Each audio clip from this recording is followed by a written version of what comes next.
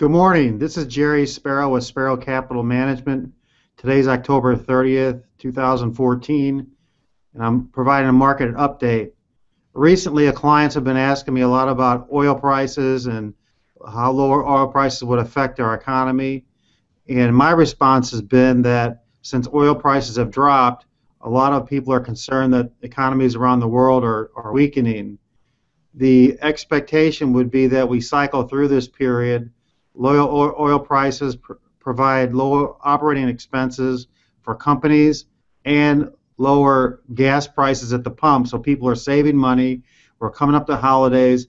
I think we cycle through this, and then uh, things get better in early 2015 when the policy responses from the European governments kick in.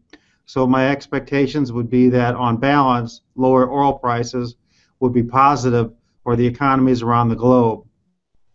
Now, if you'd like to ask a question about your investments, if something's frustrating you, please give us a call. You can call us. You can look at our website at sparrowcapital.com.